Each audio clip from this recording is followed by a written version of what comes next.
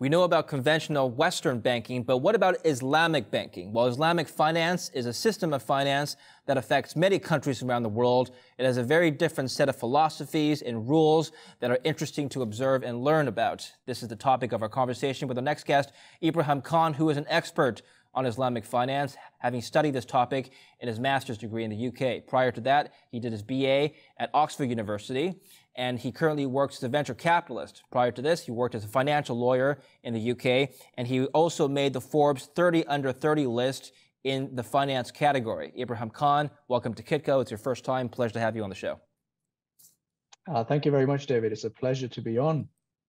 All right, we're going to start off with a primer on Islamic finance. Not a lot of people, including my Muslim friends, even know what this is. So uh, it's a different form of banking. It's a different system of finance. Just as a from a 30,000 foot perspective, Ibrahim, give us an overview of how Islamic banking is different from Western banking. Yeah, so the, the key thing in, in Islamic finance is that there's a few no-nos. There's a few big no-nos. There's uh, interest is not allowed. Um, you're not allowed to have excessive uncertainty in transactions. So, for example, gambling or spread betting would be problematic. Um, and then if you have um, if you have Maysir, something called Maysir, which is just pure gambling, uh, that would be hugely problematic as well. Um, and so there's, uh, I guess, practically what that means is that for Muslims in particular, whenever you have an aspect of finance that usually would involve interest, Muslims have to think about it carefully and structure it in a way that makes it work. And typically that involves um, using some kind of rental um, you know, structure to make it work. Um, I, I, I, think I, uh, I, uh, at one point in a video um, mm-hmm. long ago, I gave an example of how to, how you would buy a pencil. Yes. If you don't necessarily have enough money to buy this pencil. So let's say the pencil is worth ten dollars and you only have five dollars, and for that additional five dollars, you could either um, take a loan out from your friend and get that five dollars and say, and your friend says, pay me back ten dollars in in a year's time. Um, now he doesn't care what happens to the pencil. That is not his pencil. He just cares that he gets back ten dollars in a year's time. Uh-huh. Under Islamic financing, you would say to your friend, friend, can you buy this five dollar bit of the pencil with me? And now we're shared owners, for example, in his pencil and I would actually rent the pencil, your proportion of the pencil from you. So I use the pencil, but I will pay you back, let's say, um, $5 in rent over the course of the next year for your proportion, and I'll buy it back off you. And so economically, we end up in the same position, but risk from a risk perspective, the, uh, the, the friend that was using Sharia compliant financing, he was actually taking an ownership risk in the pencil. So if anything happened to the pencil, he would actually end up losing out. Mm. So at heart, it's about sharing a lot more of the risk and to some extent the reward. So I have a few follow-up questions to that. First of all, so let's take the uh, um, let's take that example of the pencil. You're borrowing from a friend. Now, in the first option, you said that you could take out a loan, a five dollar loan from your friend, and you could decide just in private terms when to pay him back and how much. Let's say you default on this loan. What is the legal recourse of that? In, so, in an Islamic uh, finance country, yeah. Okay, so I mean, uh, in in an Islamic finance in an Islamic country, when you're dealing with Sharia compliant finance, um, if you default on a loan, you would look at like any financing agreement. You would look at the contract and see what are what are the you know the options when it comes to recourse, and ultimately you would end up um, asking the person if they don't agree to pay pay you the amount back, then it would go to the courts. Now the key difference in the recourse is usually there would be a penalty interest that is added onto the amount because you've yeah. been delaying and delaying and not paying, right? In Islamic finance, um, if that penalty amount is paid to the person, that's hugely problematic because then you're, you have got interest entering into the mix. Uh, but at the same time, um, your typical Islamic bank doesn't want people to be abusing them and just delaying the payment and not getting anything, you know, in in uh, uh, as a as a downside. So what the way they structure it is they will actually take that additional interest, that is the penalty payment, and they will give that away to charity uh, because they're not allowed to take it. But at the okay. same time, they don't want that moral hazard where people are yeah people are just abusing the system. Well, you said that the the other option is for the bank uh, to take partial ownership of the pencil or whatever asset you're you know uh, applying a loan for.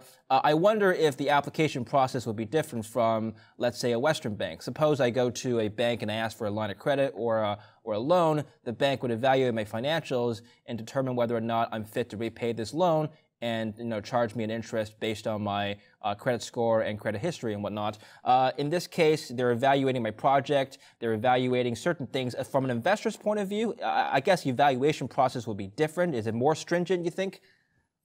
Yeah, absolutely. I, I think the uh, at least this is the the theory, David. You know, sometimes in practice, I think you can end up um, you know, having very little similarity, very little difference between the two um, conventional and Islamic. But the theory is that because the Islamic bank is taking an equity risk in, in that investment, they really care about what you are doing with that pencil. Like, are you trying to run a business with that pencil? You're going to make some money, so that allows you to pay them back. You know, what is the uh, value of that pencil? Is it worth ten dollars or not? So they right. really care about that stuff, and and that's really beneficial from a economic perspective because you know we saw in the 2008 financial crisis the the downside of irresponsible, you know, inadequate due diligence when it comes to lending decisions. Um, and with Islamic banks, they actually did not get hit pretty much at all by the global financial crisis, just because due to the restrictions that are placed on them by Islamic law, they weren't allowed to, you know, buy and sell um, the credit default swaps that, you know, caused the whole financial crisis uh, in the first place. So um, I think there's some really interesting beneficial things from a macro and you know overall economy structure. Okay. Um, I want to touch on uh, where this applies in just a minute, but I want to also first ask you about uh, uh, applications for the consumer. So let's suppose I'm in an Islamic country, and we'll get to that, where that is exactly. How do I apply for a credit card? Do those exist? Yeah, so credit cards do exist in some uh, some places. Um, and the the way they would um, they would they would work is it would essentially be um, either a charitable project. Sometimes you know Islamic banks they offer credit cards uh, with very you know with zero interest just because they want to acquire, acquire customers. So that could be an option. But then often they do make a profit on it, and they are you know it is equivalent to the you know typical credit card. And the way they structure it is something called um, murabaha, where you are, um, let's say you're buying, um, I don't know, um, a TV and you're buying a TV for $100, um, but you don't necessarily have that $100. So what the bank would do is using this credit card, the bank has essentially bought that credit, that TV for, for okay. you for $100 and it marks it up and it sells it to you for $120. But now you have to pay them back that slowly in deferred payments. So in essence, the bank becomes like this middleman that uh, that you know has bought from the wholesale, marked it up a bit, and sold it to you. So basically, I have to report to the creditor what I'm going to use that credit for. I can't just apply for a line of credit, have the bank give me twenty thousand dollars USD, for example, and then just do whatever I want with that. So um, in, in actual fact, David, you can. I okay. was going to giving you the I was giving you the example um, to you know bring to light the exact the underlying you know rules behind it. Yeah. But what Islamic banks do is they say that look, here you have twenty thousand. Go ahead and purchase for, a, for on our behalf whatever it is that you want to do, and as long as you pay it back within a certain period of time, great. If you don't, then you're going to have to pay this additional amount, which is where this murabaha agreement kicks in. So um, that's kind of you know practically it's it's identical to your typical credit card, but behind the uh, behind the kind of um, infrastructure is slightly different because of that. Okay.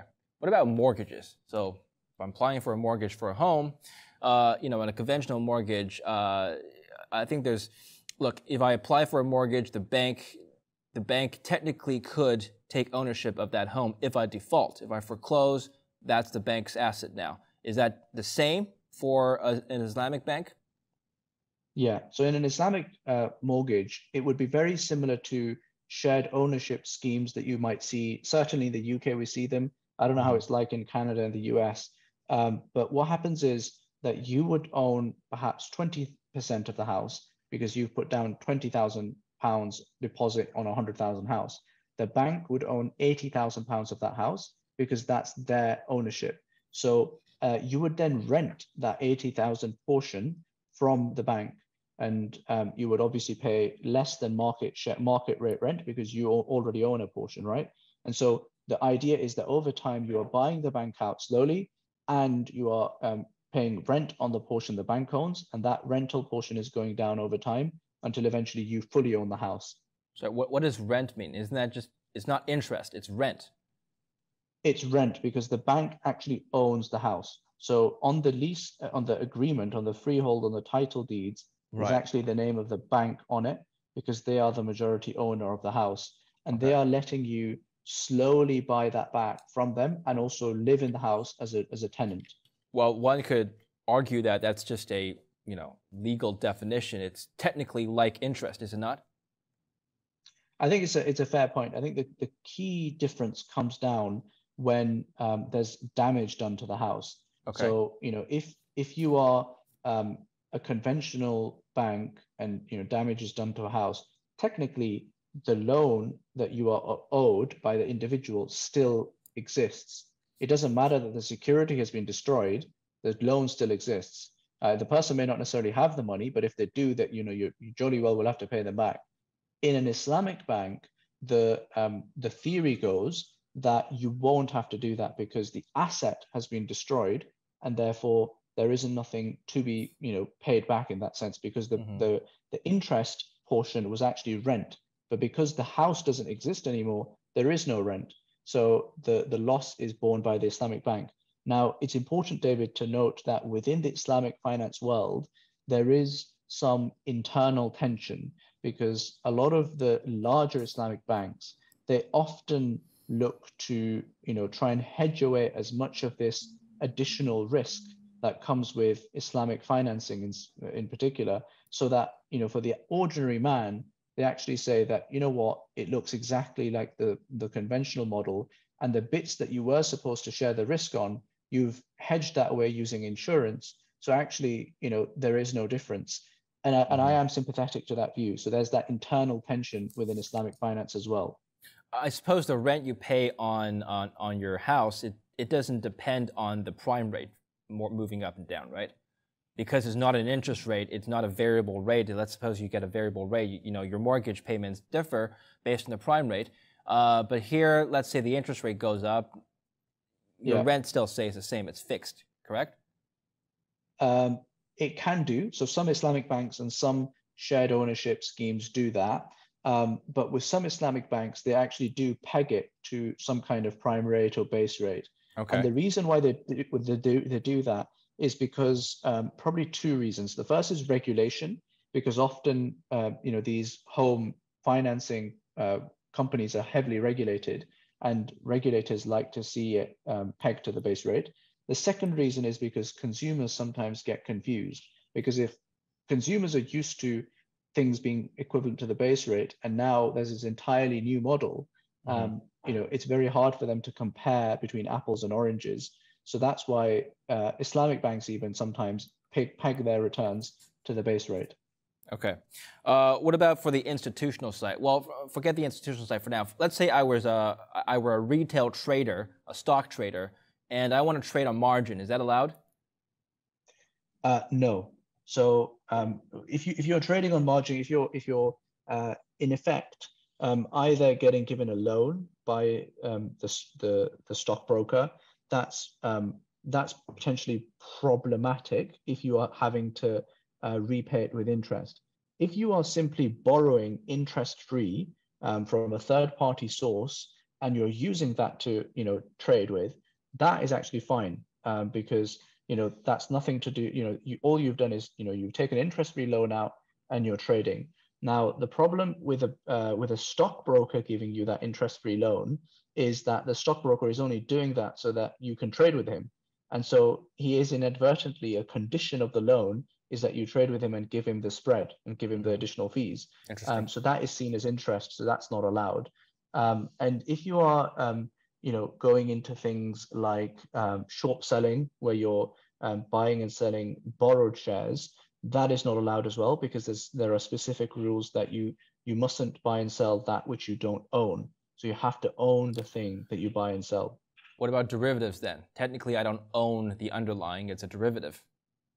Yeah, so derivatives are um, pretty much not allowed um, unless there are specific reasons. So, you know, certain kind of forward or option agreements would, you know, would arguably be seen as permissible. But by and large, uh, derivatives are seen as hugely problematic um, within the Islamic finance world. Okay. And uh, suppose I were um, a bank or a private equity firm or a venture capital firm like yourself. Suppose I were to take on debt to buy an asset. How would that work? Suppose a bank were to engage in a leverage yeah. buyout. How would that work? So um, with with private equity, um, you know, the, a debt is a really important component of the of, of the strategy. Um, and if you got that debt from a Islamic bank, that would be perfectly fine, and you can do that. Um, and an Islamic bank would structure it either using a murabaha agreement, the type, you know, the the the sale mm-hmm. plus markup agreement that we talked about, or they might do it using uh, an asset and leasing model that we talked about with the home financing. Um, so there could be different strategies that Islamic Bank would use. But ultimately, commercially, for the private equity house, it would be seen as a loan that they have to pay back and they're able to leverage up. Now, mm. absent the use of Islamic finance in uh, a private equity fund that purports to be Sharia compliant, that's very problematic because then you can't do the leverage. And that means that leveraged buyouts don't really work. Um, and so, you know, that's why we see very, very few Islamic private equity uh, funds globally. There's only a very small handful yeah. uh, in the Middle East, and uh, and they um, typically have good ties with Islamic banks. Let's talk about uh, the uh, geography first, and we'll get on to uh, investments now. So, which countries, roughly, we don't have to list all of them, but you know, how many countries does Islamic finance apply to? Um, so, there's no countries that um, you know, dictate that you 100% must use Islamic finance to the best of my knowledge. Perhaps maybe Afghanistan, I don't know. Right. Um, but the countries where they really support it and it's a big player in the wider, uh, you know, economy include uh, Saudi Arabia, mm-hmm. uh, a number of the Gulf countries. Uh, Malaysia is a massive player when it comes to Islamic finance.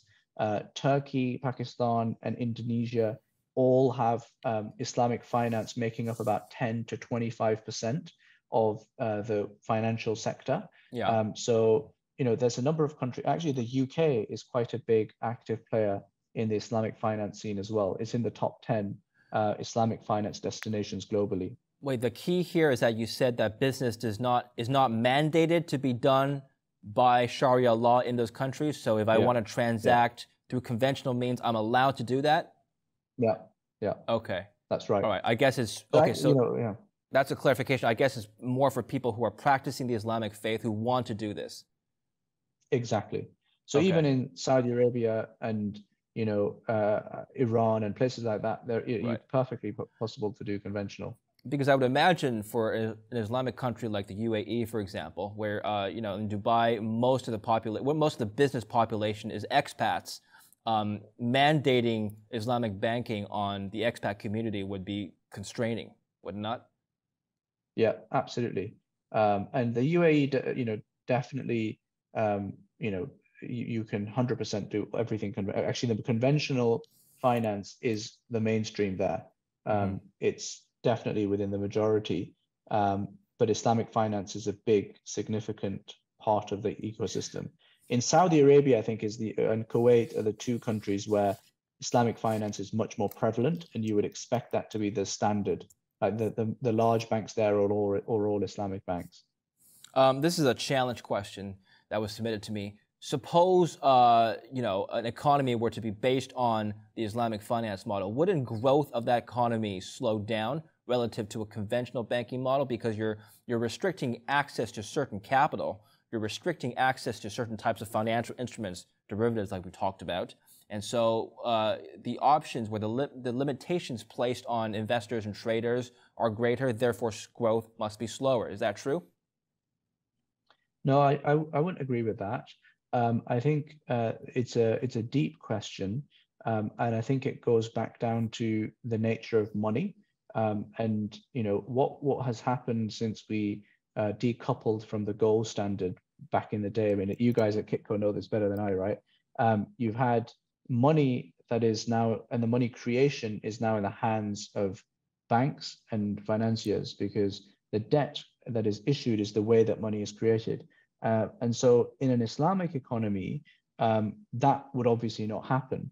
And mm-hmm. so in an Islamic economy, you would typically, you know, you know, we've never really seen a pure Islamic economy, certainly since, you know, the, the decoupling of right. gold from the, from currency. I think, I think what would happen is you would have a public investment bank of sorts. And the public investment bank, rather than um, you know new money being created by a HSBC or a Barclays bank um, and issuing conventional loans to their customers, this public investment bank would create new money and put that into infrastructure projects and other projects that are needed by um, you know from, from a like a from a government perspective. So that would be the way that new money enters into the economy. So um, I think it's a theor- it's a theoretical questions, but I but I mm-hmm. think there's really effective ways of maintaining solid growth uh, within within Islamic ecosystem. Right. And, and just going back to definition one more time. Now, the Islamic country is that defined by having a Muslim government, uh, or is that just defined by simply having a country with a large population of Muslims? Like, you know, how do you how do you define an Islamic country?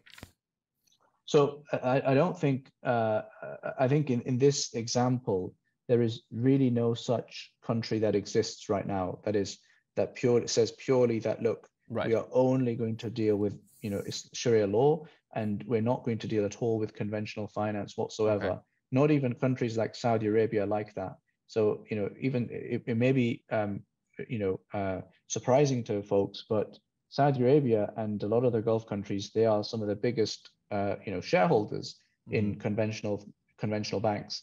So um, you know uh, we're, we're talking about almost like a theoretical right. situation. So I guess going back to your, what you said, I mean, even the UK, you can find Islamic banking. So it's whatever country that I guess has a significant Muslim population, you can find this system. That's right. More or less. That's All right. right. Um, from the investment standpoint, I understand there are certain assets or, you know, types of investments that are haram, meaning forbidden. Uh, can you explain what those are? Yeah. So um, pretty much every kind of uh, investment asset that you can think of has certain portions of it that would be haram and certain portions of it that would be halal or permissible. Um, so when it comes to stocks and shares, if you are um, investing in um, a gambling company or alcohol company, that would of course be problematic. But then secondly, if you are investing or trading in a company that is excessively levered, that has too much debt, that is also seen as not permissible because you know you are then um, you know, inadvertently dealing with interest.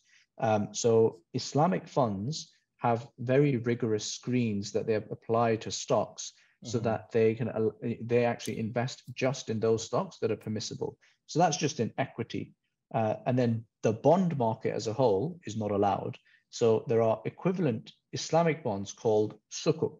So sukuk are issued by sovereigns or companies, just like bonds are, but they are linked to um, certain assets that these governments or companies own, and they are giving a rental yield that is linked to whatever asset it is. So the government, the UK government, actually issued a sukuk where they were leasing out a large government building and they were paying out the rent from it.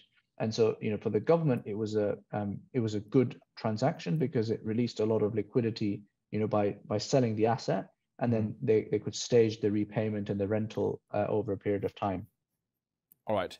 Uh, so I'll give you a few asset classes outside of stocks. So you've already listed a few sectors uh, that you cannot invest in: gambling, alcohol, for example. I believe pornography yeah. is another one. Um, what yeah. about cryptocurrencies? Uh, cryptocurrencies, again, um, in in um, principle, you know, the starting position with um, Islamic finance is the thing is permissible unless it is proven to be otherwise. And with cryptocurrencies, the same principle applies. Um, the kind of things that would not be allowed would be things like, let's say, compound or yearn finance, or you know those kind of DeFi um, projects where it is clear that interest and you know the conventional banking kind of concepts are involved, or you know there are certain projects that are linked to um, you know, pornography, for example, that would be problematic. Um, and there, there are certain projects that are uh, linked to um, an element of gambling that will be problematic. But by and large, you know, Bitcoin, Ethereum, um, I don't know, Filecoin, HBAR, there's so many different cryptocurrencies that are perfectly fine to, for, for the average person to invest in. Okay.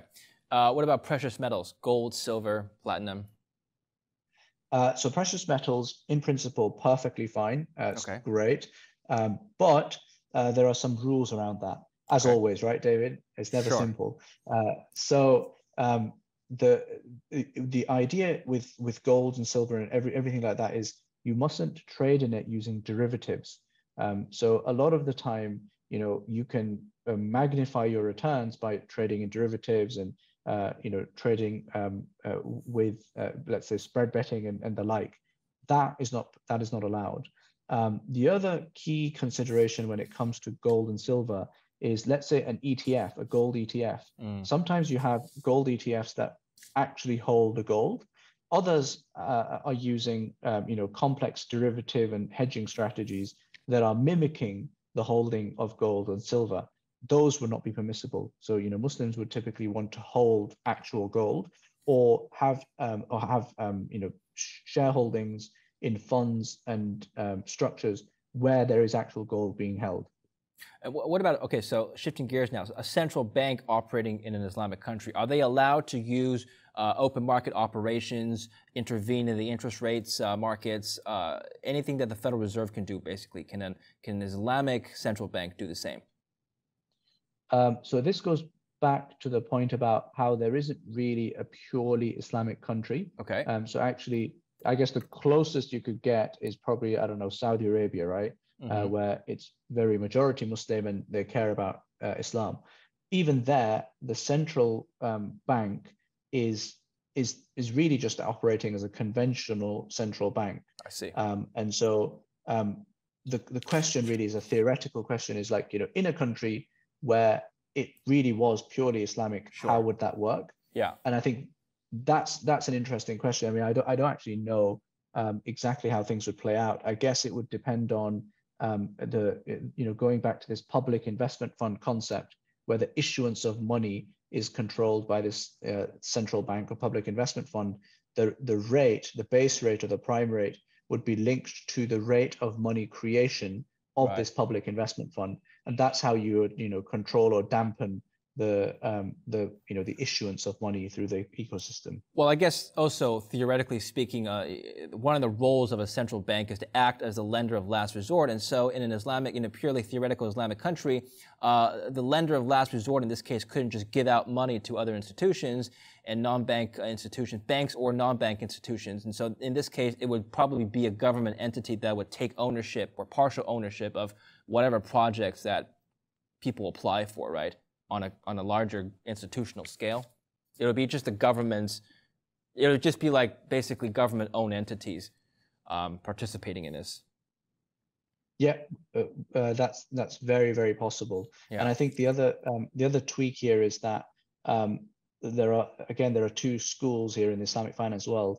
Certain people are unhappy about fractional reserve banking. Yes. So the concept of taking in deposits and then you know lending out more than the deposit. Um, so within the um, Islamic framework, that would be frowned upon, um, and you know because of that, there's a just a lot less risk associated with a finance, you know, with a banking sector anyway. Um, and so the concept of a lender of last resort would become much much less important because there's much less you know lending happening that is uh, you know not backed by currency or not backed by assets. Okay. All right. Finally, uh, let's talk about your work. So you're a venture capitalist. You're based in the UK. Um, tell us about some of the uh, the investments you're looking at right now. Yeah. So uh, I run a um, a fund called Cur8 Capital, C U R dot and then the number eight, and we invest in early stage uh, companies. You know, typically pre-seed, seed, Series A. Um, where we're investing tickets of around 100,000 up to 500,000 pounds. Um, and we, uh, we've invested in over 50 different companies now in all sorts of sectors, but our primary focus is fintech and uh, those kind of businesses that use media or communities as a go-to-market because that's you know these are the strategies that we know well as um, you know the the company that I that I founded Islamic Finance Guru which is a a, a large Islamic fintech that's where you know we learned those kind of you know uh, uh, products and that's our background. So it makes sense to, for us to invest in those kind of sectors ourselves now. Um, and it's been great fun. I think we've uh, we've had uh, a couple of exits now and uh, we get to invest with some really cool co-founders and mm-hmm. really cool co-investors people like you know the founders of airbnb and twitter and wow. zoopla and Cazoo and various others so okay, it's, uh, it keeps us keeps us entertained yeah, I'd love to have a separate discussion with you another time and talk about that space. That's a separate conversation. Finally, theoretical question Could you do the same thing in Saudi Arabia? Uh, yeah, absolutely. Okay. Absolutely. Venture capital is, you know, there's very little debt involved. So it's, uh, there's a few t- tweaks that you might need to make to the, you know, the documents, but it's pretty much Sharia compliant as it comes. All right. Fantastic. Ibrahim, that was very educational. Thank you very much. Thank you for coming on the show. No worries. It was a pleasure. Uh, thank you for watching Kitco News. I'm David Lin. Stay tuned for more.